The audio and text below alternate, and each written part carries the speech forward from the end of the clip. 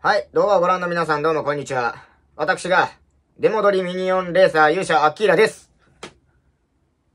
さあ、ということでね、えー今回もミニ四駆の動画になるんですけれども、えー、ついに私ね、買っちゃいましたよ。ついに買っちゃいましたよ、私。ミニオンレーサーにとって、必需品と言っても過言ではないものを買ってしまいましたよ。例えば、人間にとって、大事なのは水ですよね。ね。人間にとって大切なのが水と同じようにミニ四レーサーにとってとても大切なものを私ついに買ってしまいました。何回も言うんじゃねえ、さっさと見せろ、この野郎という声が聞こえてきそうですね。うん。ね。えー、まあ、えー今までね、買わずにね、えー、なんとかやり過ごそうとしてたんですけど、やっぱりこれ必要だなと思って、えー買いました。えー、早速ね、えー出していっちゃいましょう。出していきましょう。うーほっはい、こちらですね。はい、こちらですね。これが、えー何かと言いますと、えー、ミニ四駆のピットボックスでございます。ピットボックス。えー、これね、えー、まあ、小学生ぐらいの時かな、レッツゴー世代の人たちがミニ四駆してた頃は、多分これを思い浮かべると思うんだけど、ちょっと画像出しとくわ、こんな感じの。僕も持ってましたから、これ小学生の頃。持ってましたよ。えー、これぐらい。やっちまった倒れちゃった。まあ僕も持ってましたからね、あの、ピットボックスね、ちょっと半透明のケースに入ったこれぐらいの工具箱ぐらいのサイズになってて、パカッと開けたら、こう、3段ぐらいにズラズラとなって出てくるやつね。あれ持ってましたけど、今こんなのがあるんですね。この2段のね、ピットボックス。こんなのがあるんですね、これ。えー、いいでしょう、これ。まあこれがね、今まで私はね、こう、レースに行ったりとか、ちょっと外の大きいコース行ったりとかするときはね、まあこんな感じでさ、こうネジとか、こんな感じでこう、100均の、こう、こういう、100均の小分けケースみたいなのがあるじゃん。こんな感じのに分けてるんだけど、こういったものをですね、それこそちょうどこの袋にですね、この布の袋に、この袋に、もうこれごと詰め込んでいってたわけ。ほんで、こういう、こういう箱にね、まあ、マシンを丸裸で入れて、その上にこうポーンと、えー入れて持っていくという、えースタイルだったんですけど、まあ、はっきり言って無駄じゃないですか。こんなの絶対使わないし。でもネジが途中で曲がっちゃったりとかしたらいるじゃん、予備のネジとか。ね、ローラーだってなんか調子悪かったらローラー変えたりとかする場合もあるかもしれないじゃないですか。でも使わないパーツが大半なんでね、これ。これ丸々また持っていくのめんどくさいし、非常に効率が悪いんで、えー、ちゃんと外に持ち運べる用のボックスになります、こちらね。えー、この中にバッチリマシンも入りますんで、はい。まあ、これ1台で、1台というか、これ1個で完結するようになってますから。まあ、非常に便利という。まあ、ミニオンレーサーにとっては、必需品じゃないんですかね。いろいろ持っていかないといけないですからね。はい、例えばこういう充電器とかね。えー、バッテリーとかね。えー、予備のモーターちゃんとかね。こういうのがいりますから。ね。ようやく買いましたよ、私。多分お値段にして2400円とか2600円とかそんなもんやったかな。えー、ちょっとね、えー、今からアングルを変えて、えー、中をちょっと見ていこうと思います。それでは、アングルチェンジははい、そういうことでね、えー、アングルが変わりました。えー、まず購入したこちらのピットボックスね、えー、まず付属品なんですけど、まあ、こういう取説とかもございまして、で、あと、まあ、こういうなんかパーツとこういう取っ手ですね、これ取ってね。えー、こういうのがございます。で、まあ、中は後で見ていくんですけど、あ、ちょっと余談なんですけど、これ最近ハマってて、これめちゃくちゃ美味しいんで、これ、これなんかグミ、グミかなカヌレのグミ。僕カヌレ超好きなんですけど、これも超うまいんで、これあの、見つけたらぜひね、食べてみてください。これマジでうまいんで。はい。ほんで、ほんで、ほんで、あの、余談終わりですけど、まあ、こんな感じに、えー、まあ、なってるわけですね。ちょっとまず取っ手をつけましょうか、これね。えー、取っ手を使う、取っ手をつける場合は、とりあえずこれを一旦、外して、えー、ほんで、これが何？これ、こっちが前？こっちが前か。こっちが前っぽいな。まあ、ここに、わかるかな？ここにこう、こんな感じで。今度はここ、ここに隙間ができるんで、えー、これを入れろということですね。これを入れなさいと。えー、この取っ手を使いたかったらこれを入れなさいと。断るさあ、えー、これをとりあえずこんな感じではめまして、はい、これで OK。えー、これで持ち運びの際はこれを持ってこうグッと、えー、できるようになりましたと。まあ、いうことですね。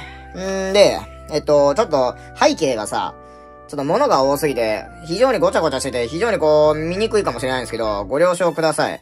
ごめんなさい。で、えっと、ちょっと中を見ていこうかな。まずね。中はこんな感じですね。だから、ここの蓋をこうつけて、こうまあなってるわけだけど、ここパコンとやってこう外したらこの中が出てくると。で、これドアは、ドアっていうのかな？この蓋の部分は、こう、ここ外しちゃったらこれパカって完全に抜くんで、こんな感じで。で、えー、ここ、中はこんな感じになってるわけ、蓋側は。